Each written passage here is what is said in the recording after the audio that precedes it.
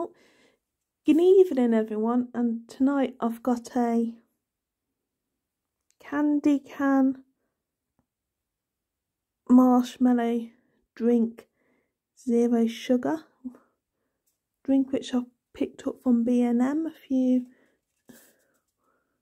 weeks ago. And yeah, it's an alright drink, but I think it's better than the bubblegum one I tried and I've got a birthday cake one to try as well and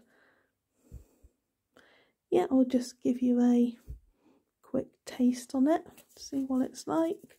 We'll do it here and you can all see me do it.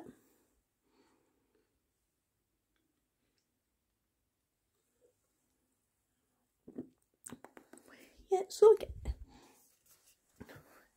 it's okay but is this one is really sweet and it's alright to have here and there but else but yeah. So I personally don't know if I'd buy it again but maybe in the future I might but who knows? So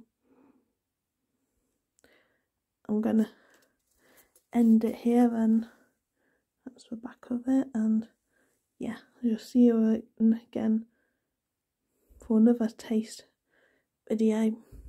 Bye